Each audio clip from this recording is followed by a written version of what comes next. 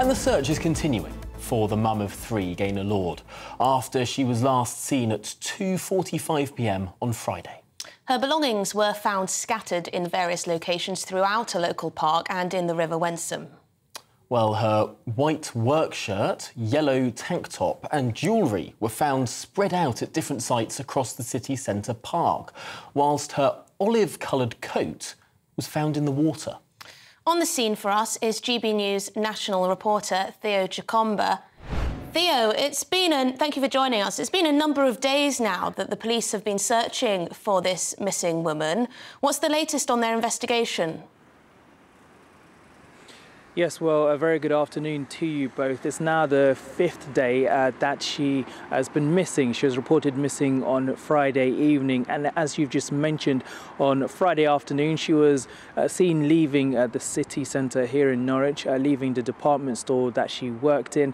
And in the last few days, uh, several of her belongings have been found. And on Tuesday, uh, further belongings were found. And here at Wensum Park, just out outside of the city centre, uh, the police uh, began to search this area. So that was yesterday, and a specialist dive team is currently on the scene at the moment. Uh, I don't know if you can see just over my right shoulder, there is a white tent there, and police have been uh, going around that area uh, trying to look uh, for for something which you can see from the distance. And just across the road to my right, there's a, a specialist dive team. further members of them are just over there and they've been going in and out of the park. But of course, it's a concern uh, for her family. She is a mother, 55 year old. They'll be looking uh, and lo looking and wondering uh, what has happened uh, and looking for further updates uh, from the police. Now, Norfolk Police's um, police commander, uh, Wes Hornigold, said our working hypothesis at the moment is that Gaynor is in the water. That's what we're working towards. And they also went on to say it's a missing person inquiry. There's no evidence at the moment to suggest that there's any third party involvement here. This is a significant operation in terms of searching both the park and the waterways. Searching water is quite challenging, and what I've seen since I've been here is a boat going up and down the river here, which runs through Norwich. But of course, for the moment, uh, investigations here continue.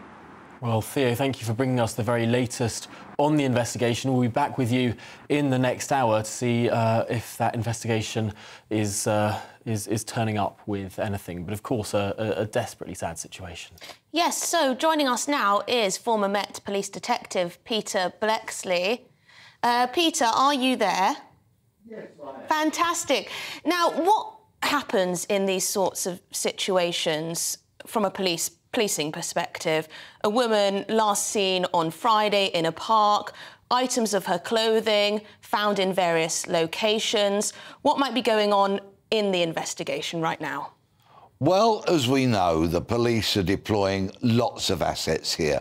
They've used helicopters, they've used drones, and of course, underwater search teams with sonar equipment. So many echoes of the tragic disappearance of Nicola Bulley back in February of this year, where items were also left by the waterside.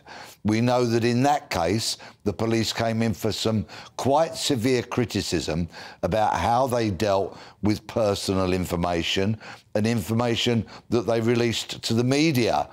I'm sure that Norfolk Constabulary will have learnt lessons from Lancashire Police, one would expect. So perhaps that's why they're being quite cautious in release of information, whilst all the time their primary objective will be to find Gaynor Lord.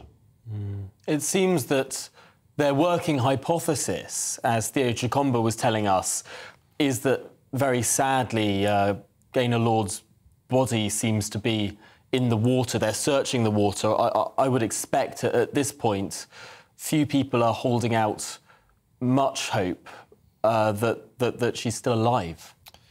Yes, although I'm sure the relatives, her three children, and all those who knew and loved her are clinging to the hope that there may be some other explanation, that she may be alive. And we've already heard pleas from the children urging her to make contact and return home, however perhaps unlikely that option may be. It is, of course, a deeply, deeply worrying time for the family, and the police will be feeling the pressure.